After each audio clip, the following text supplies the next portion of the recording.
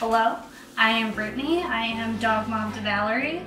We live in Detroit, Michigan, and we are a huge fan of AskVet. Is that it's a modern day approach to connecting with a vet. It's easy, quick, and convenient. I don't have to wait in line for my pet to receive care or take an unnecessary trip to the emergency room.